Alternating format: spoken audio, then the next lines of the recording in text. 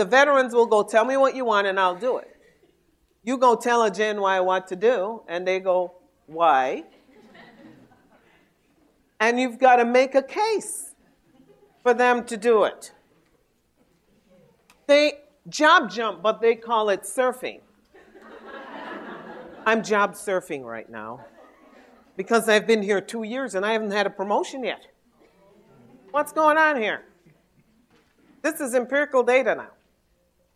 They're very hardworking. They expect training and mentoring. They expect it. They don't get it, they're out of there.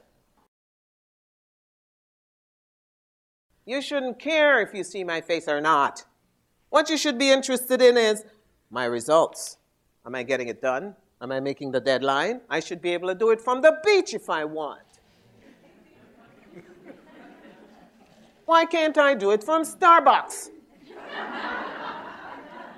It's getting done. What's your problem?